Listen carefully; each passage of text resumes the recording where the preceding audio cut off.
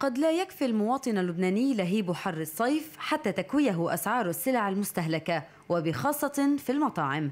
فزيارة سريعة لأحد المقاهي تكفي لتبيان الأسعار الخيالية. إذ يبدو أن شح الماء في لبنان أدى إلى رفع سعر عبوة المياه الصغيرة التي تشتريها عادة ب 500 ليرة لبنانية إلى 3250 ليرة في المقهى. هذا فضلا عن التسعيرة المضخمة لصحن صغير من اللوز أو الجزر.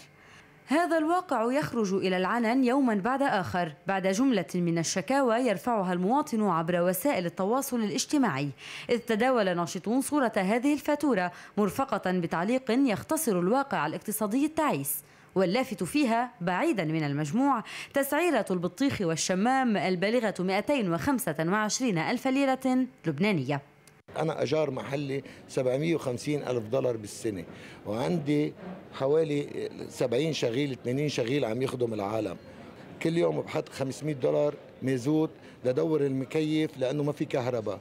وحاطط مكيف وقاعدين ومبسوطين وإذا بتشوفيهم كيف كانوا عم يحكوا مبسوطين وهن معلمات لازم يكون يعني شو بدي أقول لك؟ واحد بده يقعد بكفي مرتبة وعلى البحر ومكيفة وأربع ساعات. لو واحد بالطريق واقف أربع ساعات طلب مي بيطلع عليه أكثر من 20000 نحن لا ظلمناهم وإذا ظالمينهم نحن مستعدين كإدارة نتقبل أي شكوى زبون بس الزبون لما بده يروح يشهر وبعد ساعتين ثلاثة بيجي بطالب كل واحد بيطالب بالفاتورة. رجع لي الفاتورة واعطيني الفاتورة واخصم لي هاي وأنا مرتي ما اخذت هاي وهذا ما اخذ هيدا وهذا أنا حسبي الله ونعم الوكيل.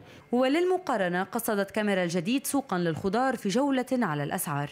ب 225 ألف كم بطيخة وشمامة بيطلع لي؟ بيطلع لك شيء 15 بطيخة وبيطلع لك شيء 10 شمامات. وفينا نتأكد لك 100% هلأ قديش حقهم. بالضبط. هيدي 10 كيلو بطيخ. بيطلع حقها 10000 هيدا الجات البطيخ والشمام يلي حضرته لكم شخص؟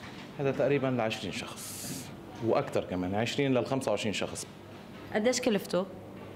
يعني تقريبا شيء 16000 بس.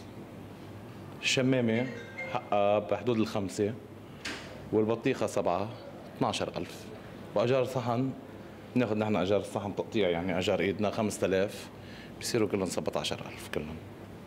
القانون اللبناني يجيز الربح في السلعة بالقيمة المناسبة للبائع. شرط أن تكون الأسعار معلنة للمستهلك ليبقى على المواطن أن يتنبه إلى سعر السلعة قبل استهلاكها لأن القانون لا يحمي المغفلين. وليبتعد اللبناني عن المثل القائل كل أين تأكل وماذا تلبس أقول لك من أنت.